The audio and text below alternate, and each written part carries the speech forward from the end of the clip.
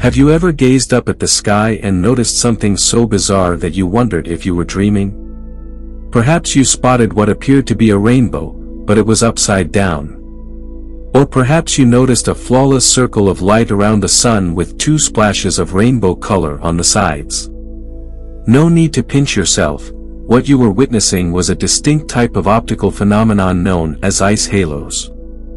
Although similar, these are not technically rainbows, but rather their own unique wonder. Some are rather common, while others are extremely uncommon.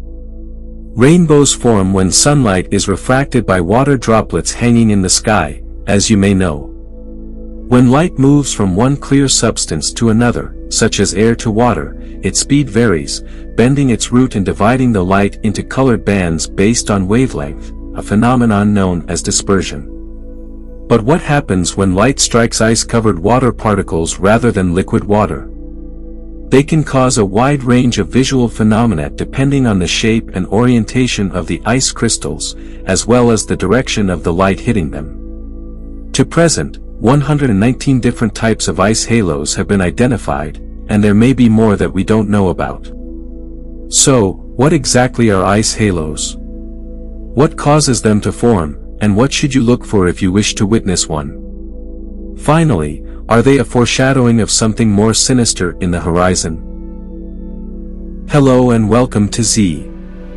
Join me today as we look at stunning photographs of some of the most well-known ice halos and try to figure out how and why these delicately gorgeous spectacles emerge. This amazing image depicts a 22-degree solar halo seen over Grossgrotzenberg, Germany. 22 degrees refers to the angular radius of the halo, not its temperature. Consider drawing a straight line from a spot on the halo to the observer's eye. Then, from the sun at the middle of the circle to the observer's eye, repeat the process. The angle formed by these two sight lines is 22 degrees, giving rise to the name 22 degree halo. There are also 46 degree halos, which are larger than their 22 degree counterparts but also fainter. Halos can also appear in moonlight, as seen above. These eerie halos are known as moon rings or winter halos, but they are really the same optical phenomenon. The source of light separates them from solar halos. In certain photographs, the patch of sky inside a halo seems darker than the sky outside the ring, creating a dramatic effect that is frequently referred to as a hole in the sky. This occurs because, when light bounces and refracts off the ice crystals, none of it is reflected back toward the light source, resulting in an apparent darkening inside the halo to an observer. But this is only the tip of the iceberg, because ice halos can take on a variety of unusual and surprising forms, including brightly colored patches, upside-down rainbows, and even upside-down rainbows at night. But, before we get there, let's take a look at the interesting optics that cause these weird phenomena. Water crystals in cirrus or cirrostratus clouds produce the majority of circular halos. These clouds form in the troposphere, 5 to 10 kilometers above the Earth's surface, when temperatures are extremely low. As a result, halos can be seen all year round, even in extremely hot climates.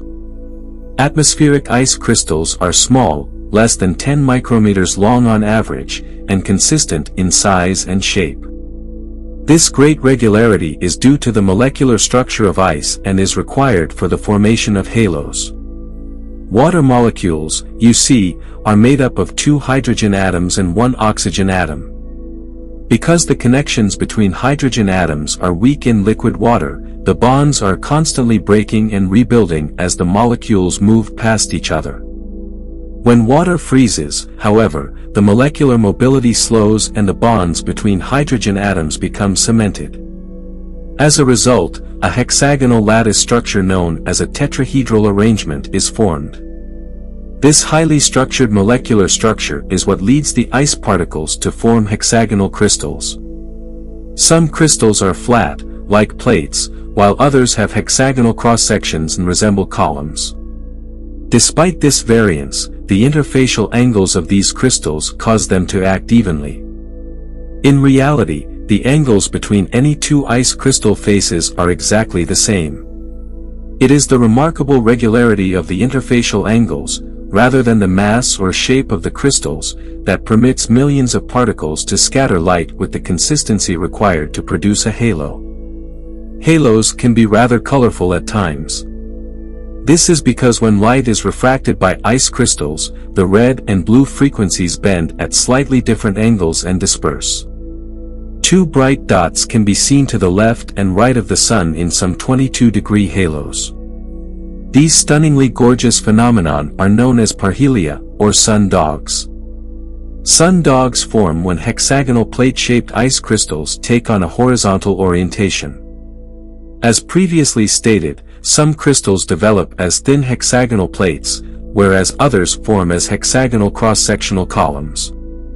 When plate-shaped crystals form and descend downward, atmospheric drag causes them to orient horizontally, with the c-axis shown in the image almost completely perpendicular. Larger plates wobble slightly more than smaller ones. This wobble, in turn, impacts how tall the sun dogs appear to be, with wobblier plates making the sun dogs appear more vertically stretched. Sun dogs are occasionally accompanied by another optical phenomenon known as a circumzenithal arc. These arcs resemble rainbows, but they're upside down, giving them a friendly, smiling appearance. These arcs occur over the sun only when the light direction and ice crystal orientation are just correct, when light enters the top faces of hexagonal plate crystals and departs the side faces. This, however, can occur only when the sun is lower than 32.2 degrees above the horizon and higher than 5. Because the ice crystals behave essentially like a 90-degree prism, color separation is outstanding, resulting in circumzenithal arcs with significantly more clarity than true rainbows. If you're lucky, you might even see one with moon rings. These strange arcs, known as lunar circumzenithal arcs, arise only when the moon is extraordinarily brilliant and low on the horizon. As bizarre as it may sound, it is possible to witness an upside-down rainbow at night. This is incredible, circular halos have been observed on Mars.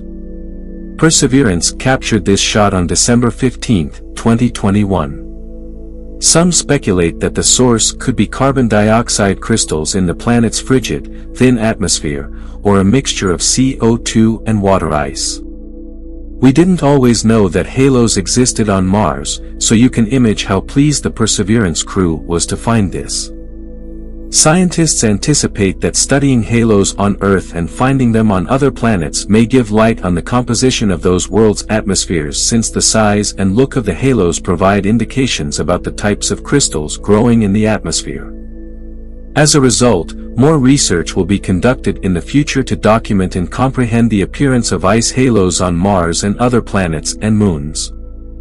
So there you have it, a primer on some of the more well-known ice halos and the optical phenomena linked with them. Here are some things to look for if you want to see one for yourself. Check for cirrus clouds first. These are the wispy, high-altitude clouds that contain the microscopic ice particles required to generate ice halos.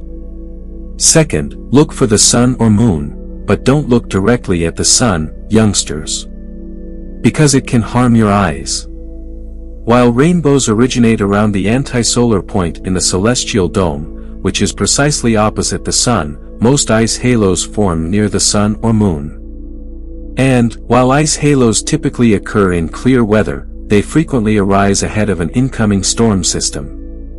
In other words, if you encounter one, don't stay outside for too long. Head inside and find a nice spot to enjoy the approaching storm.